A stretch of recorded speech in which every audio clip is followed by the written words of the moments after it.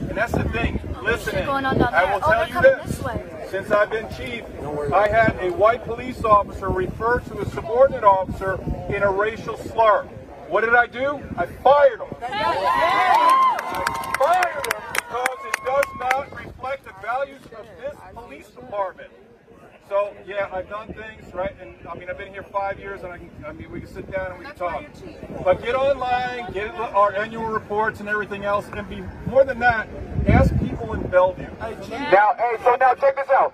Everyone that had that energy, Miss Cox, I love your energy. I love your energy. I love everybody's energy out here. Everybody that had that energy, like I said at the beginning, keep that same energy.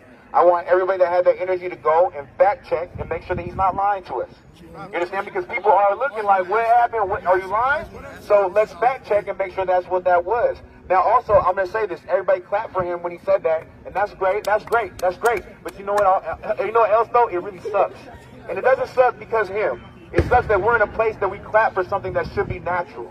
It should be natural that how he feels about people, that that is coming out in his work like that. It should be natural. But you got other people. Y'all do. Let me tell you what I tried to do. Earlier, there was Lou, Lou over there at the cigar store. I'm telling them, get out the way, get out the way. No, don't, don't, don't do it. It ain't working. If y'all seen me earlier, y'all seen I was like, go home, please go home, go home. It's not worth it. I'm hoarse now. I love all you guys. I love how y'all coming out here. Love you too. My name is Melissa. I love you, Melissa. I love you, baby.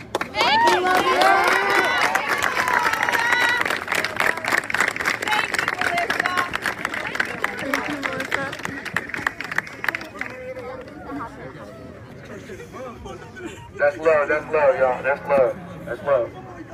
All right, now I'm gonna say this. She wants us to get home safely. She does, and I understand that, and I, and I know that that's genuine. There's no motive behind that. You understand me? Now, what I'm gonna say is, if y'all go home and you don't come back, and you don't come back, that's the issue. You understand me? So I just gave everyone my information. You have it on your lives. They got it on the Q13 Fox, I guess. That's crazy. you got my email, sarah at radsimone.com, S-A-R-A at radsimone.com. Hit me up. Anybody else has got any, any information or any kind of means I want to hear. But the next thing is that we're gonna we're gonna keep on beating up.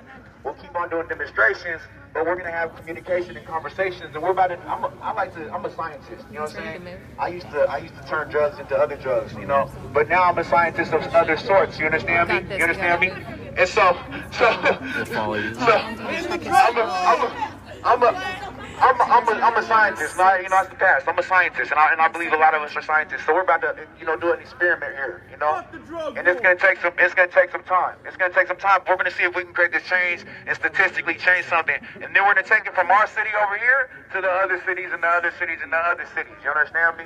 But I do not want to hear any more shame coming your down sign? on people that have been kicking down doors, and kicking in windows. I don't want to hear any more shame.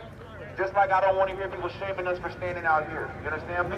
But like I said, like I said, yeah, right, it is. What you say? It is, it is. Back, back. It's protesting. However, we, we want to join in today, it's. But let's do it in a consecutive way. I'm not, I'm not saying I believe in this or that.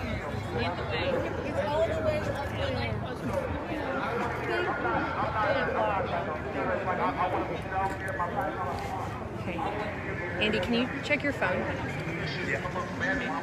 And tell us, tell me where we're supposed to go and how to get there.